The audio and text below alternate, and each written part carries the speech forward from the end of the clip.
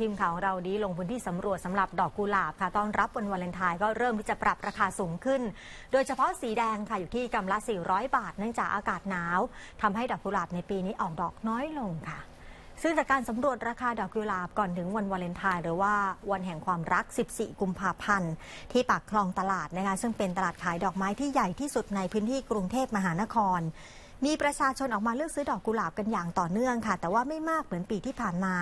เดี๋ยวพบว่าราคาดอกกุหลาบเริ่มปรับตัวสูงขึ้น แต่ไม่ต่างจากปีที่แล้วเท่าไหร่ ปกติจะอยู่ที่กำละ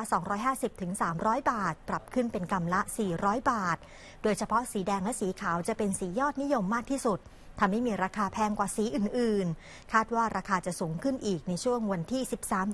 13-14 กุมภาพันธ์นี้ ทางนี้นะคะแม่ค้าพ่อค้าปากคลองตลาดก็บอกนะคะ ว่าสาเหตุที่มีราคาสูงขึ้น เนื่องจากปีนี้อากาศหนาวค่ะ ส่งผลให้ออกดอกน้อย ไม่เพียงพอต่อความต้องการก็เริ่มแพงแล้วค่ะ ดอกไม้ทุกอย่างเริ่มแพงค่ะ เพราะว่า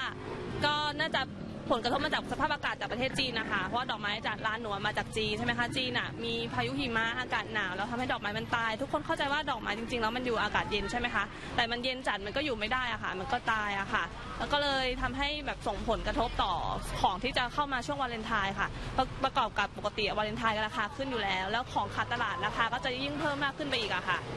ก็คือแพงขึ้นนิดหน่อยค่ะแต่ว่าตอนนี้ยังไม่ถึงเวลาซื้อเขา ดอกไม้มันน้อย เพราะว่าหน้าหนาวมันไม่ออกดอก ก็เลยจำนวนน้อยลง แต่ของแพงขึ้นจ้ะก็ยังไม่รู้เพราะมันยังไม่ถึงวันจริง ต้องถึงวันจริงก่อน แต่ขึ้นก็ขึ้นนะมันขึ้นอยู่แล้วล่ะ แต่มากน้อยเท่านั้นนะ